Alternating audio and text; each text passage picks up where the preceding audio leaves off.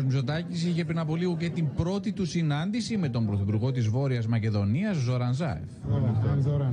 My pleasure to meet you. Pleasure to meet you. How Great are, honor, finally. how are you? I'm good. Hello. Pleasure. Are you Minister? It's a pleasure. Great pleasure. It's Mr. Petsas. Uh, Hello, I'm Zoran. Pleasure. you know Mrs. Uh, Papadopoulou, my Yes, we know diplomatic each other. advisor. You know, Hello, how are you you? know, you know each other.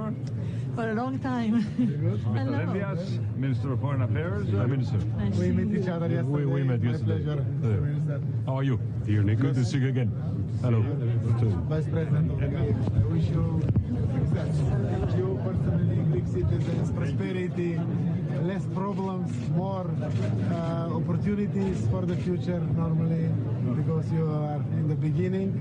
I know that there is a lot of advantages, but count on on, on uh, neighbors. Thank you. Thank you uh, for, for your kind words. We are indeed a, a new government. We have a strong mandate uh, to deliver real change in, uh, in Greece and to focus on economic um, growth. And uh, we intend to use that uh, mandate uh, very well. Χθε ο Κυριάκο Μητσοτάκη συναντήθηκε με τον Αλβανό Πρωθυπουργό Εντιράμα, με τον κ. Μητσοτάκη να δηλώνει τη στήριξη τη Ελλάδα στην ενταξιακή προοπτική των Δυτικών Βαλκανίων, με την προπόθεση πω πληρούνται οι προποθέσει που